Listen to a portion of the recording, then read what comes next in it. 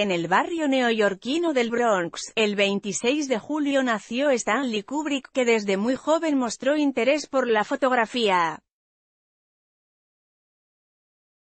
Desde joven practicaba con una cámara reflex que le regalaron sus padres, más tarde, comenzó su carrera profesional ligado a la producción de documentales, pero pronto se daría cuenta de la que era su verdadera vocación. En 1953 realizó su primer largometraje, Miedo y Deseo, pero la cosa no fue bien y el director decidiría retirar del mercado todas las copias poco después.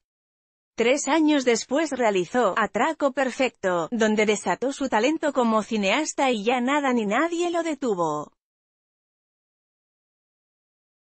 Stanley Kubrick es considerado uno de los directores más influyentes del siglo XX. A continuación te compartimos las siete más famosas de Stanley Kubrick 1962, basada en la novela de Vladimir Nabokov, quien también fue el guionista de esta película, narra la obsesión de un escritor llamado Humbert James Mason, por una adolescente de solo 14 años, Lolita Asurion.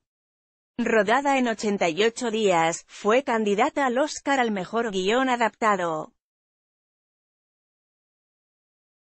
Ice White Shot 1999 llegó a la cartelera como un thriller erótico protagonizado por la entonces pareja de moda en Hollywood, Tom Cruise y Nicole Kidman. Quizá de ahí nazca el descontento del gran público, que esperaban algo más excitante. Sin embargo, la que fue la última película de Kubrick ha sido valorada con los años gracias a su ritmo hipnóticamente lento, con el que muestra la evolución de una sociedad donde la avaricia y la riqueza opacan los sentimientos. Espartaco, 1980, cuatro premios Oscar avalan el trabajo de Kubrick en esta gran producción, de la que cogió el mando con el rodaje ya empezado. No fue impedimento para que el cineasta neoyorquino dejase su sello acompañado, eso sí, del brillante guion de Dalton Trumbo y unas interpretaciones para la historia Kirk Douglas, Peter Ustinov y Charles Lawton a la cabeza, Senderos de Gloria, 1957, el género bélico es algo que Kubrick trabajó toda su carrera, pero Senderos de Gloria sigue siendo, probablemente, su mejor película sobre el tema. Un enfoque minucioso sobre un ataque fallido en la Primera Guerra Mundial que arroja una visión chocante de cómo la guerra saca lo peor de la humanidad. Atraco Perfecto, 1956, su tercera película, The Killing, 1956, consagró a Kubrick como un cineasta especialmente talentoso. Jim Thompson fue el encargado de los diálogos con los que poco a poco se desgrana un mundo hostil donde todos están en el punto de mira y la amabilidad es, más que una virtud, o una debilidad. El Resplandor, 1980. A pesar de que Stephen King siempre ha renegado de la adaptación de su obra, El Resplandor dejó escenas imborrables para la historia del cine. Pocas veces algo tan blanco como un niño montado en un triciclo infundió tanto respeto, terror y angustia en los espectadores.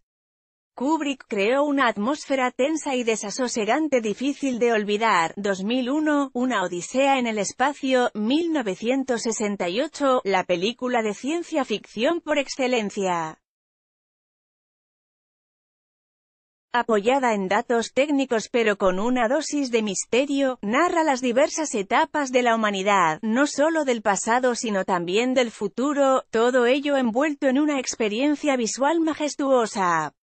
Sigue siendo visionaria después de tantos años. La Naranja Mecánica, 1971, un clásico transgresor en su época cuya violencia sigue siendo inquietante hoy en día.